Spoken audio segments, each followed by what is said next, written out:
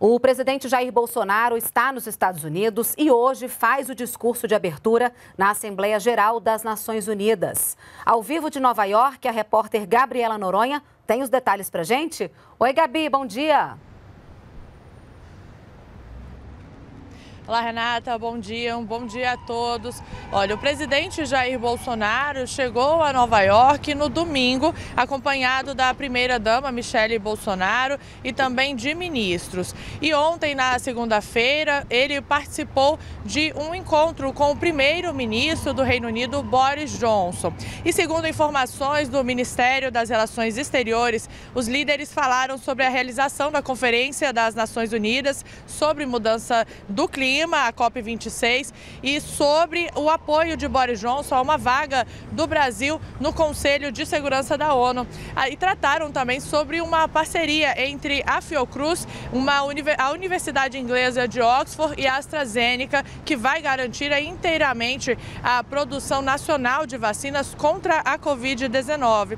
E hoje, antes da abertura da Assembleia Geral da ONU, o presidente Jair Bolsonaro tem ainda pelo menos dois encontros. Um com o presidente da Polônia, Andrei Duda, e outro com o secretário-geral da ONU, Antônio Guterres. E como você falou, Renata, logo mais às 10 horas da manhã, horário aí de Brasília, e 9 horas da manhã, horário aqui em Nova York, o presidente Jair Bolsonaro abre os trabalhos na Assembleia Geral da ONU. Ele será o primeiro a discursar no plenário e eu preparei uma reportagem sobre a expectativa desse discurso que já é tradicional aí do Brasil.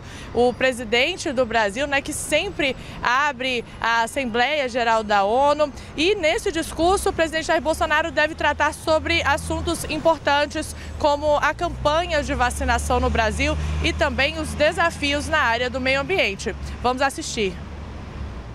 Com mais de 68% da população vacinada, o Brasil recém ultrapassou os Estados Unidos em proporção de cidadãos imunizados com pelo menos uma dose. A expectativa do governo brasileiro é que até o fim de outubro toda a população acima de 18 anos esteja vacinada com duas doses. Nós temos mais de 530 milhões de doses, 550 milhões de doses de vacina contratada. Só a AstraZeneca é, nós já distribuímos através da Fiocruz mais de 90 milhões de doses. Enfim, nós vamos muito bem. O avanço do Plano Nacional de Imunização deve fazer parte do discurso do presidente Jair Bolsonaro na Assembleia Geral da Organização das Nações Unidas nesta terça.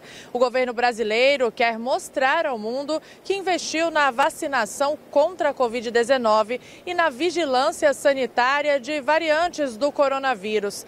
Além disso, Bolsonaro deve falar sobre a retomada da economia após a pandemia, meio ambiente e destacar a atuação do país no combate ao desmatamento.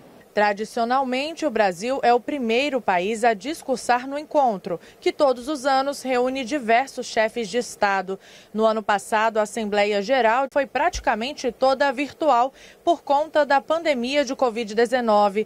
Bolsonaro participou por mensagem de vídeo. A Covid-19 ganhou o centro de todas as atenções ao longo deste ano. Neste ano, a ONU adotou um modelo misto. Governantes poderão escolher se comparecem presencialmente à sede da organização em Nova York ou se enviam mensagens gravadas. O presidente Bolsonaro optou por fazer o discurso presencialmente e chegou à cidade no último domingo. Nesta segunda-feira, o destaque ficou com um encontro com o primeiro-ministro do Reino Unido, Boris Johnson. Entre os temas tratados entre os representantes dos dois países, pautas climáticas, o apoio do Reino Unido à entrada do Brasil na Organização para a Cooperação e Desenvolvimento Econômico, a OCDE, e as possibilidades de parcerias comerciais.